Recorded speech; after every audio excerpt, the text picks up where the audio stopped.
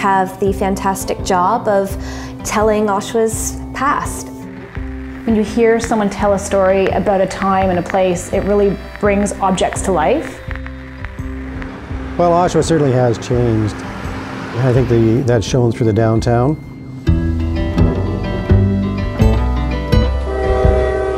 Of the notable things about Oshawa was it was one of the few cities around or towns that had uh, a major railway running through the middle of town servicing all the local industries. And I think a big thing that the museums work on is stories and sharing stories. The Oshawa Community Museum is one of Oshawa's best kept secrets, and really it shouldn't be. Genosha is still there.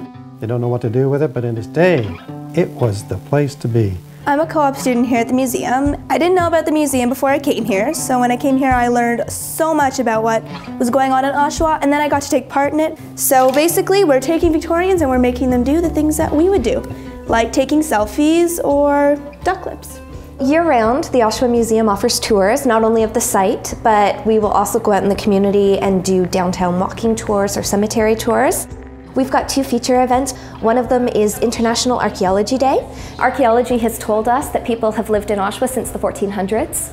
We're really lucky that we have artifacts that are on display permanently and a day like this is a day that we get to showcase it.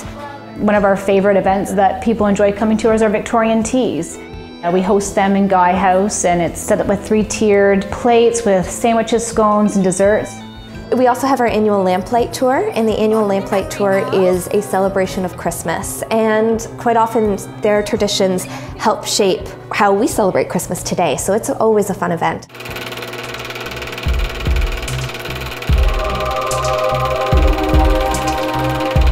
So at least once a week we have a visitor ask us if there are ghosts here at the museum. It's probably our most popular question. Are the museum buildings haunted?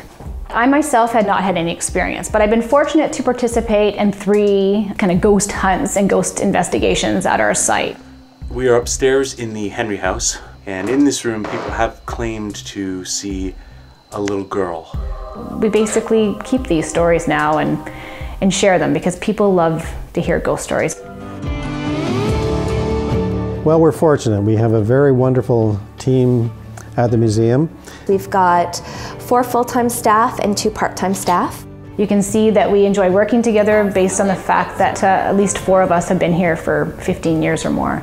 For many that may not realize we are open all year long and if you're going for a walk in the park, one of the best places to stop in would be to come see us and take a tour. It only takes 45 minutes. Admissions by donation and uh, come in for a cup of coffee or hot chocolate or tea. Come to the Oshawa Community Museum, where Oshawa's history resides.